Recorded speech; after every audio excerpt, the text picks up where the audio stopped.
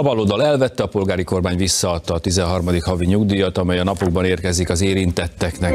Amikor a munkahelyek elvesznek, akkor a nyugdíjasoknak adok plusz juttatást. Hát legalább ez körülbelül akkora bőszmeség volt.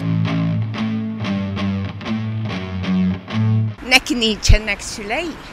Borzalmas.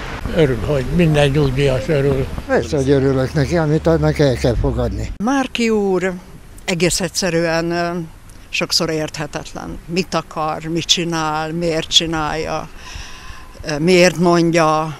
Így tovább, így tovább. Törődjenek az öregekkel is. Összmesség, a persze az ő feje szerint. Hát az a összmesség, amit ők csináltak. Főleg meg a markizai, hát az eszméletlen ez a kapi.